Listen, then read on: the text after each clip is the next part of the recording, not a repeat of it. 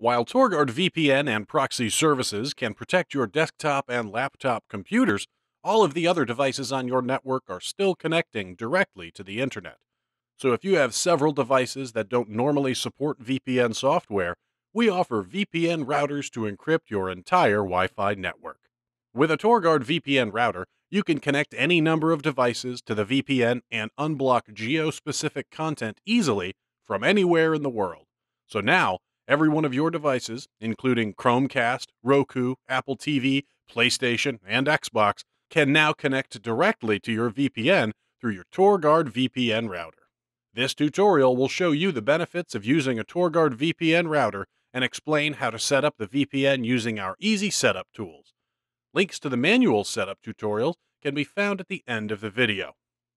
Every router is shipped with pre-flashed DDWRT or Tomato firmware, so installation is virtually plug and play, providing instant VPN access as soon as you turn it on. If you haven't purchased a VPN router, click this link to shop for the VPN router that fits your needs. We recommend utilizing a dual Wi Fi network setup. This means that you will run your normal Wi Fi network alongside your new VPN Wi Fi network so that you can use your regular network for casual usage and take advantage of the VPN Wi Fi when you need extra security or when you want to unlock geographically blocked internet content. Once your TorGuard VPN router arrives in the mail, simply plug the included cable into one of your normal router's LAN ports. Then plug the other end into the WAN or Internet port on the VPN router. Now turn the router on and open a browser window to navigate to this address 192.168.1.1. This is the local IP of the router itself. The default username and password to access the router for the first time is admin and admin, make sure to change this to something a little more secure. Now, download our Easy VPN software for Tomato or DDWRT by clicking one of these links. Before running the software, make sure that you're running it from the computer that is directly connected to the VPN router. Also, verify that you have internet access.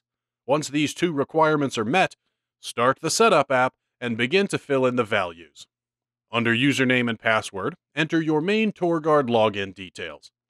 Under Select VPN Server, choose the VPN server you wish to connect to from the drop down menu.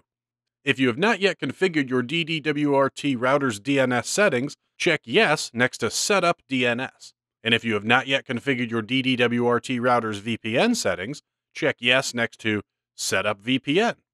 Under Router IP, enter your DDWRT router's current IP address. The default is 192.168.1.1. In username and password, enter the DDWRT router's current username and password. This is the username and password that was defaulted to admin and admin that you may have already changed. Once all of these values are entered, click the Run button in the top left corner. The software will now automatically update your router with all of the correct settings. This process can take up to 5 minutes depending on the router, and a reboot will occur once the settings are complete. When the router reboots successfully, check your IP address at the link below to ensure that your VPN is running. If you have trouble running the TorGuard VPN router setup tools, don't worry. Manual setup is a few clicks away. Follow these step by step setup guides to manually add VPN settings to your DDWRT, Tomato, or Asus Merlin Wi Fi router. Otherwise, sit back and enjoy the privacy of your new TorGuard VPN Wi Fi network.